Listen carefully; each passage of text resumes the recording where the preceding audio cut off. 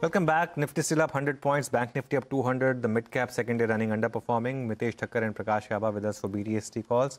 Mitessh, you go first. Yeah. Uh, so Anuj, I have two IT names. Uh, uh, TCS is a BTST. Uh, you know that's a buy with a stop um, below 2165 for targets of 2200 and Wipro is having a good candlestick pattern. Uh, that's a buy with a stop below 244 half for target of around 251 for tomorrow. Prakash, your calls. Like Adani Enterprises, certainly looking good. Target on the upside 255, stop below 247, trading at a new high zone. Second is Mahanagar Gas Limited, looking good. Chances are 1260, stop below 1200. Okay, those are BTST calls, but we have a big guest now joining us, Ekta. Yes, absolutely. Well, uh, the big stock in focus from the pharmaceutical space is Wockhardt, which is going to sell its manufacturing facility in Baddi via slump, some slump sale. And not only that, 62 domestic brands to Dr. Reddy's. Uh, Habil Khurakiwala, the founder, chairman and group CEO of Wockhardt, now joins in. Uh, Mr. Khurakiwala, hi, thank you very much uh, for taking the time out. Well, we know the details of the deal, so I just want to come down to a couple of key questions. How exactly is this 1850 crores going to be utilized by Wockhardt? Uh, this is primarily to improve our uh, liquidity position and uh, primarily what we will do is two or three things. One is that uh, we will make sure that this money utilized for growth and we intend to plan to have a fairly high growth in the next coming years. Mm. This year we had a negative growth, but I think next year we should be aiming at high double digit growth. Mm.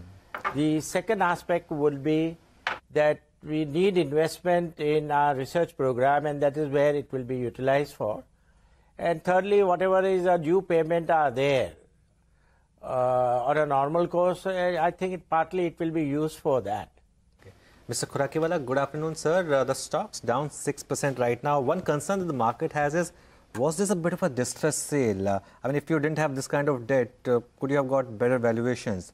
Uh, it's done at, uh, what, 3.5, 3.1 times uh, the FY19 sales. Yeah, see what we have received the value for the business we sold is about 3.9 times sales and roughly about 15 times our uh, business sold EBITDA. Now what we are planning forward for the next year that we will improve our EBITDA performance than we what we had with this division which we have sold out. So in fact we will move into high growth area Second very important aspect is we have sold part of the business which was today's business. But what we have created a space for organization to build tomorrow's business because we are going to focus on chronic treatment like diabetes, hmm. neurology, nephrology, psychiatric. So these are our focus area would be there. Thirdly, in a diabetic portfolio, we have recently taken a decision to go with new insulins even for global market including the US and Europe. Okay. So this would be our major growth, growth driver in addition to pharma business, my biosimilar business and obviously my uh, pharmaceutical business. Okay, that point is taken, Mr. Khurakiwala, uh, but I just want to touch upon strengthening the balance sheet. Can you just apprise us of how much debt do you have on your books currently? The last figure that we have is maybe over a little uh, over 3,000 odd crores. So if you could just clarify that figure for us, and how much is going to go into debt reduction? The, our, uh, uh our current debt overall is 2,200 crores. And as I said earlier, the debt payment would be as they are due over a period of time the extra liquidity which we are creating is to build business in terms of faster growth, in terms of investment in research and development. So uh, the understanding is that bulk of it will go into, uh, you know, high gestation um, businesses such as, say, R&D, your antibiotic space, as well as, say, biosimilars in the US and that's going to be majority of it. And the rest of it will probably go into strengthening of balance sheet. If you could give us a ratio 70% into new businesses 30% into debt reduction. No i don't think we have uh, we are planning for a debt reduction as a part of uh, key activity of this divestment. Okay. Debt reduction will happen in normal course as it is due over a period of time. Okay, fair point. Whereas part of the portfolio will definitely be invested in a growth area because if you are planning a large growth, there is an investment required in business related area and that is we will be investing part of this divestment into business. Okay. Now, Mr. Khurakiwala, so uh, is this it in terms of uh, selling businesses, or do you have plans to sell some some more assets as well?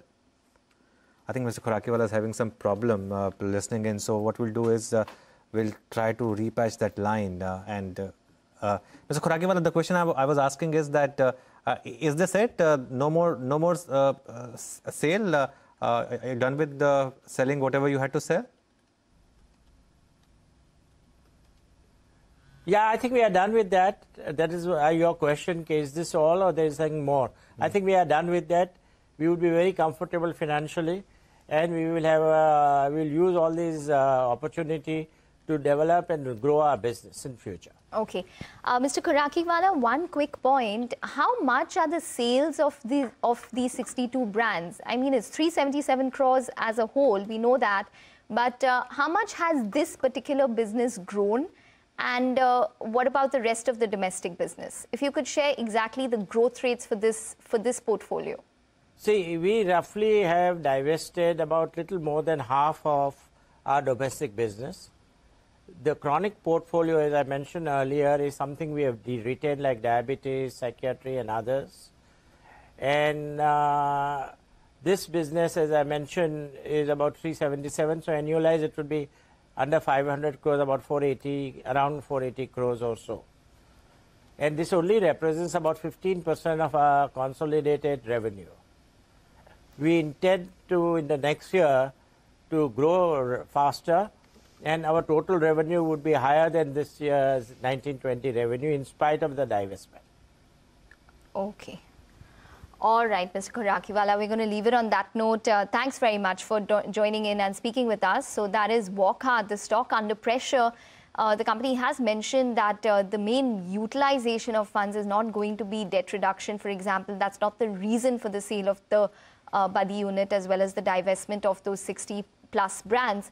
But uh, overall, they think that they're comfortable when it comes to the liquidity condition. I think the stock's down 7%. Uh, uh, it was up uh, earlier, I think, uh, so that's part one. And uh, uh, I, the market may believe that it could be a bit of a distress sale uh, for, for all you know. But anyway, just pull out uh, the stock that we were discussing with Mr. Tulsian uh, before uh, you know we had that conversation. Godrej Consumer, just pull out that chart intraday.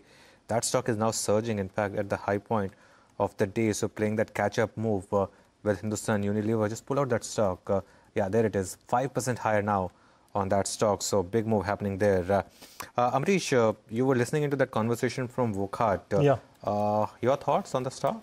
See, I think broadly the issue with slump sale by Indian promoters, uh, I think there's a big question mark as to what the shareholders will finally Exactly. get. Exactly. I mean, we have had that uh, uh, recent example of Lloyd, what happened.